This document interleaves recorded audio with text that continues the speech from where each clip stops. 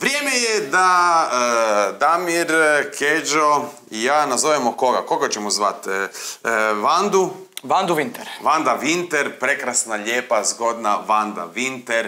E, jeste šta surađivali? Jesmo, radili smo skupa u, u muziklu Mamma Mia, još uvijek surađujemo, genijalna glumica, još bolja pjevačica. Draga je, nježna je, Tako je. tako? Obožavamo je. Obožavamo je, a i zvaćemo, imamo strašnu ideju za Vandu Winter. Ajmo zvat. Halo, Halo, ej, Bog, dobro jutro. E, Damir je na telefonu, Keđo, čao.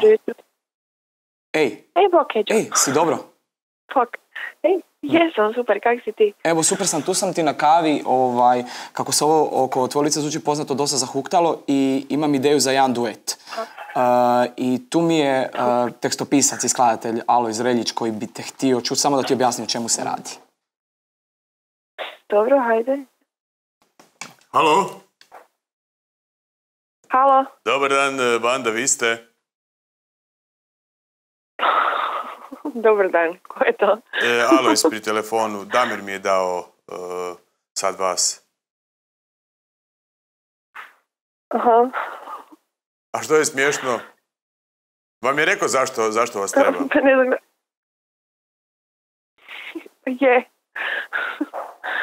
Znači, ja sam napravio pjesmu koja se Damir, Damiru jako dopala.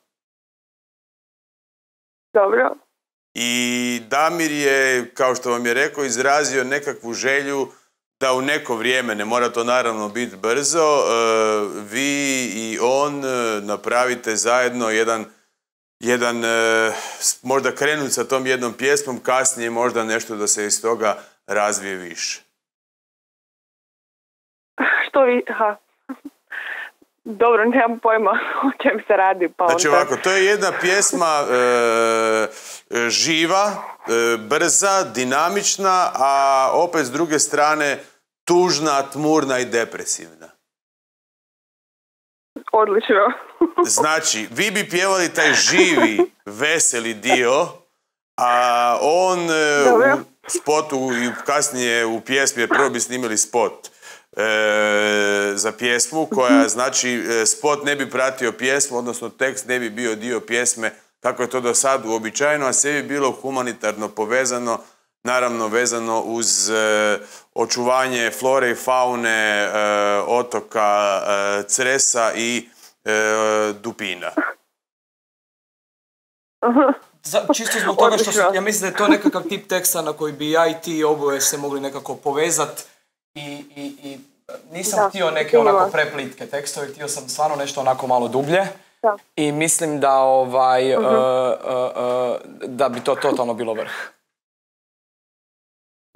Slažem se, ja mislim. E, znači ovako, tipa, e, sad ću ja pročitat tekst e, e, pjesme koja ide ovim tokom. Znači ovako ti ide. Znači tvoj dio je, ust, ova, sad, ja ću sad čitat, a poslije ću ti, će ti naravno malo ćemo otpjevat. Ustajem, ustajem, rano je jutro, tebe, tebe vidim kraj sebe, ustajem, ustajem, rano je jutro, a dupini gdje su? Onda Keđo ulazi u obliku dupina u scenu, a šta je smiješno cijelo vrijeme? Ne, nije mi jasno šta je smiješno cijelo vrijeme, e, Vanda. Ne, ne, ne, ne, ja, ja sam, kao prvo što ja sam jako sretna, zato se ja smijem, jer ja već vizualiziram. I onda se e, e, u, u spotu, ma sve u redu, u spotu je Kečo, o Keđo, ja ga uvijek zovem Kečo, jer bi ono kad bi bio za srpsko tržište, Kečo. bio bi Damir Kečo. I njegov, njegov hit e, u, Uvela mi ruža. Više bi, tu bi, tu bi bila lova. Ja ga nagovaram za Bosnu i Srbiju. Damir Keđu, uvela mi ruža, uvela do kraja, bio sam i osto, pravi baja, uvela mi ruža, srušila mi kuću. Ej, ajmo, ajmo se vratiti. E. Nemojmo oduzimati vrijeme. Znači ovako Vanda, i sad gledajte, i onda on ide sa svojim dijelom i dok mjesečina pada nasred mora, ja na kanalu idem, plovi barka, plovi barka, dupin skače, i tu sad ide ta o, o, komunikacija između vas, gdje ima čak jedan dio gdje Rade Šerbeđa govori teksta zašto obala, a zašto stih, a zašto kamen i svjetionik. I onda kad je svjetionik, vi ste umaskirana Vanda u svjetionik. I glava vam svijetli. odlično, sviđa mi se, može. Znači, sve, oduševljena ste. Mislim, ja smatram da bi, mislim da bi nam to bio dobar PR moment. Ja Znači, mislim, to bi bilo dobro, Vanda, za vas, evo što kaže Keđo, mislim. jer Keđu, Keđu karijera je sad tu di je. I sad, ili će tu ostati, ili moramo napraviti taj jedan, a najbolje je za zaštitu dupina, jer Keđo je poznat e, ko mali, Da. da su ga praktički odgo- odgojili dupini. Ne Da. znate tu priču, kad je... Da, da, to puno toga objašnjava. Kad je, kad je Keđu, kad su pustili i zaboravili ga na plaži od tri mjeseca po ljeti, otišli na piće i on je otpluto na lufmadracu i u, e, Slavica Dupini, njezin muž Željko, su ga uzeli na Cresu, odgojili do treće godine. Su živjeli s njim. Zato on malo ima ovako Da, da, ko pa- Dupin. te se falsete malo Falsete i. E, Ali još više Da, da. Vanda, ali ako to prođe, onda imam tu ideju za bosansko-srpsko tržište, di vi kao pevaljka i on kao Damir Kečo, idemo kao neka Tina i Nikša. Razumijete? Vi ste meni novi Tina i Nikša. Razumijete? Eto.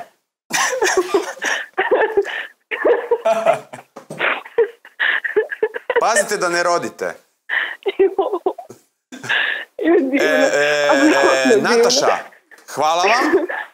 A ne, nije Nataša. Uvijek, uvijek mijenjam bila. Natašu Janjić, jer uvijek Keđo meni kaže zvaćemo Vandu Vintere, kaže je to Nataša. Ona kaže ne, ne, to je Vanda i tako. Dobro, ništa, ideja je dobra, vidim da vam je dobro. Vi se nastavite smijat.